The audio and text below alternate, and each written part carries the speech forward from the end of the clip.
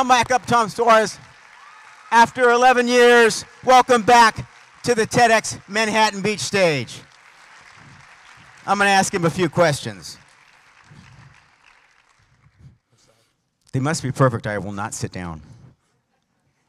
Okay, have a seat. Thanks for being here. Yeah, thank you. Oh my gosh! So it's been 11 years. Um, what have you been up to? It's it's you, you look different. You look great. Uh, I sound different too. You oh, look at that. So uh, what have you been up to?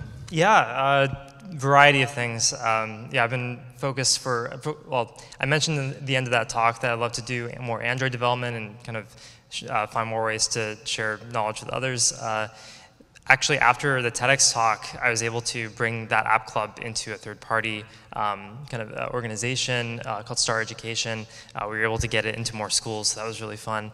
Um, since then, I've also been working on a variety of projects uh, across different mobile uh, platforms, Android, as well as Google Glass, um, and got into augmented reality, and then also 3D printing. Um, so a variety of things. Um, back in 2015, I started working on this uh, another game called YTAG, which is an augmented reality laser tag game for mobile, and uh, ended up getting uh, VC funding for that in 2017. That has led into what I'm doing now with Teleportal, which is my current startup, and we've been active for a few years. Um, went to Georgia Tech to study computer science for about a year and a half before dropping out with the Thiel Fellowship. Um, so now I'm working on that company full time. Did you get all that? I was in El Camino for two years. Okay. No, no, it's Come great. on. It's here for El Camino. So what did what did doing that TED Talk, uh, what did it fire in you about developing apps for kids? I mean, the, the, that TEDx talk opened up so many opportunities, and primarily the way that TEDx Manhattan Beach was structured to kind of publish that talk online and, and just all of the support. It was really amazing. Um, of course, I think it it sparked a lot of interest in that in you know Star Education for bringing this app club in, but I also received thousands of emails from students and teachers, parents all over the world who were saying, "I'm interested in developing apps now." Uh, you know, or can you send me some some information on this particular mobile platform? Uh, and I was happy to do it, but it was starting to get to the point where there were way too many to respond to. But one of the, the craziest things that happened recently is when I started at, at Georgia Tech in 2018, uh, there were actually a couple of students on campus who recognized me. And uh, they came up to me and they said, Are you, are you that? I said, Yes, sure. Um, and, and, they, and they said, You were one of the reasons that I got into coding. And I was like, Okay, cool, I guess. You know, so it was, it, it just shows the kind of impact that you can have. Just a quick four or five minute talk explaining what you're passionate about.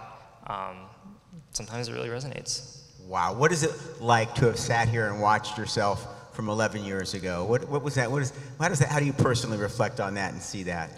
Um, well, I'm certainly a lot younger in that. I mean, it, it oh starts, yeah, you're getting really old.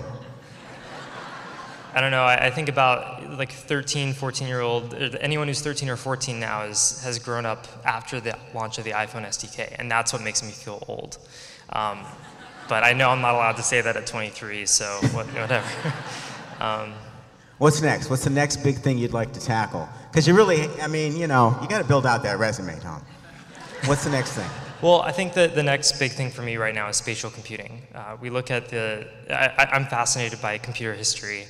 Um, after that talk, of course, I got into Android development and, and others, but I, I, really started looking at the history of computer science and learning about the, the pioneers in this field. Um, and I think that there are, you know, if we look at the, the major transitions of computing from uh, the mainframe days, in fact, mainframe is not even the early computing, but it's really the, I would say, the first general purpose computing that we had. Um, mainframe computing to the personal computer uh, to you know, the transition from the CLI to the graphical user interface to the internet and the World Wide Web and now mobile. We've gone through all of these different transitions and the part that I'm really excited to work on for the next 5, 10, 50 years if it, if it happens to take that long, which is would be exciting if it takes that long because that means there are that many challenges to solve, is spatial computing, is actually taking these two-dimensional interfaces that we have either on a heads-up display like Google Glass or even on our mobile phones or on our laptops or desktops and extrapolating them out into 3D space. Um, it's going to open up a lot of uh, doors in human-computer interaction, I think. Um, and honestly, there are so many uh, so many concepts in computer science that have been tried and you know, failed, and I think they're not in the, the engineering zeitgeist anymore, and, and that's fine, but I think too often Silicon Valley and really technologists in general want to be pushing forward so much that we actually forget about the incredible work that was done by computer science pioneers or pioneers of any field. Um, and just because something didn't work, uh, does, it doesn't mean it was poor execution or a bad idea. It may have meant the timing was wrong. It may have meant that uh, some potentially inferior or, excuse me, more proprietary.